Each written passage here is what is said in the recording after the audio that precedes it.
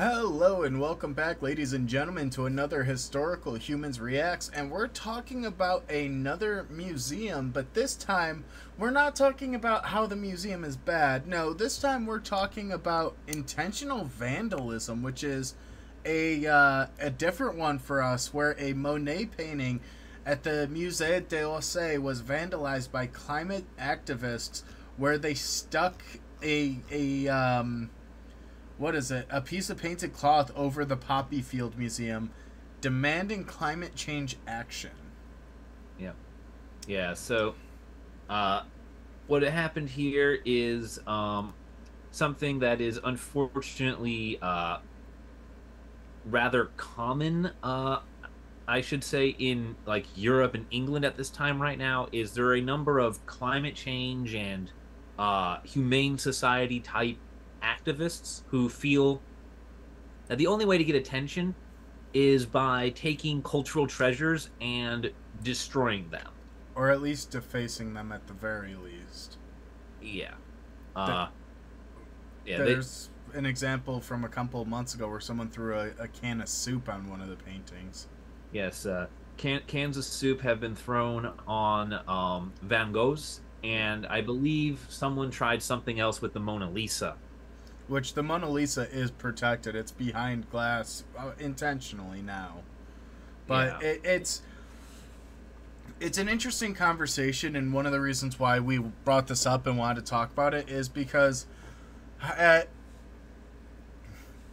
at what point do you take a valid action in protest, in speaking up, in using your rights to speak for a cause, and at what point does does it go too far? Is, is this too much? Is this too far? How how would you go about approaching this? Like, what what are your thoughts on it? There's there's a lot of things that I think will yeah, we yeah, feel here. Is, this is definitely gonna be one for the comment section if people are interested. but, Fight uh, down below. yes, uh, but one of the key things uh, with a lot of these things that have been happening is that they've been happening for the past couple years intermittently, and the one saving grace uh, behind those, they've all been tolerated because they've ultimately targeted uh, works of art that were uh, protected from physical harm by panes of glass or uh, I think there's a uh, another word I, for, I forget it right now, but there's other things besides glass that people will put over paintings when they're on display in museums to uh, keep them protected from the elements, and those do protect it from a lot of the damages that would otherwise occur uh, from these people's actions. And because of that, they've been more or less tolerated as a nuisance and or you know gaggle of idiots. Or a potential uh, artistic statement and i think that's another rabbit hole we can go down in a minute.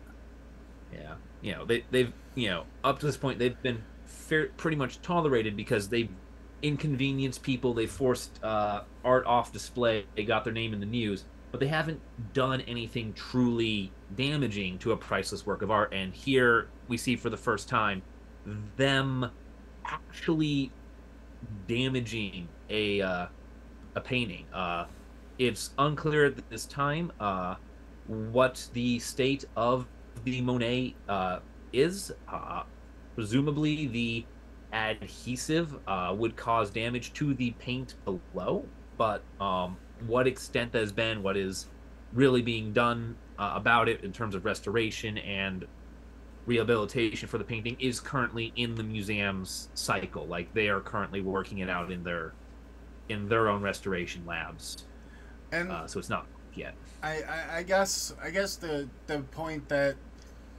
there is some level of tolerance and to to be fully apparent here i disagree with this action i disagree with how this protest goes I can understand it uh, to an artistic degree of the expression of the statement being made of evoking specific emotions. I know a lot of the art world is centered around that and a lot of artists very much pride themselves in those evocations. However, in these instances and in, in these moments you're just trying to do the most absurd thing you can to gather attention and that's what this is is to gather attention the fact that we're even sitting here talking about it shows that this was e- even in the most basic degree a successful protest and that's yeah. that's kind of the point of it. It's supposed to be this self fulfilling cycle. It's supposed to be this whole recursive argument, but at the same token, like you're not gonna have really, you're not gonna have people who who are policy makers, are the decision makers. They're not the ones that really care about this stuff. The people who care about the arts in this degree in museums and institutions like this are the people who go visit, the aficionados, the people that are passionate about the topics, the artists themselves. You know, you might get the billionaires or millionaires that donate and throw money at the museums, but they're not doing it as much out of passion as the people who work there, as the people who who frequent there, who have the memberships. It yeah, just yeah, it's a it's a selfish action.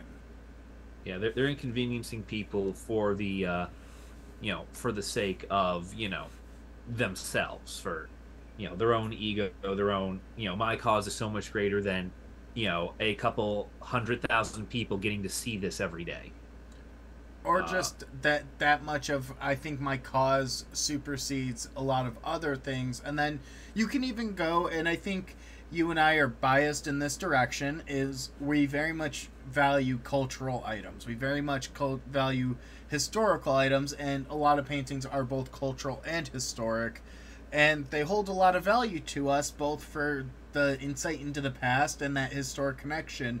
And we understand that these items are very, very limited. They're very one of one. They're very you know they're very bespoke it's not like these are going to be recreated and they're not going to evoke the same emotions as when they were originally created it just it's selfish in the regard that you'd be get, willing to get rid of a one of one cultural icon for a momentary grasp and the the part that I, I struggle with personally is I very much fall in line with the belief that climate change action is necessary. I do think that we're going to have to change things.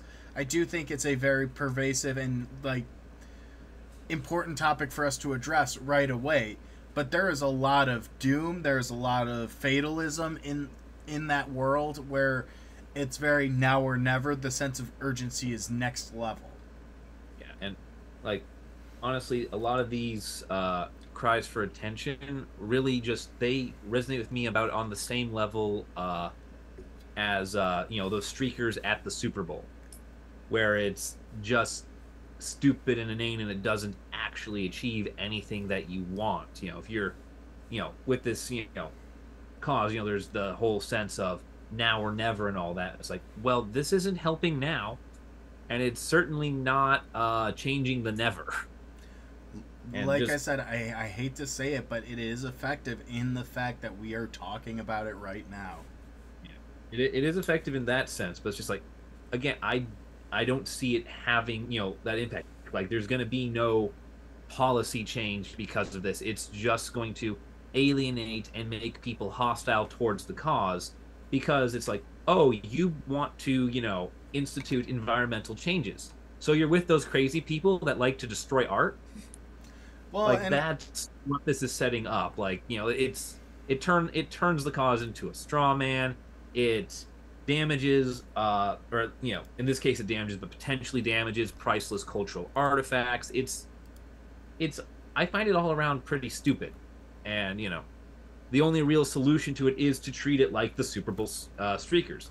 You ignore it, you know, you don't show it, you ignore it, and you just bring the hammer down with whatever legal penalty you possibly can on people for whatever it is they're doing here.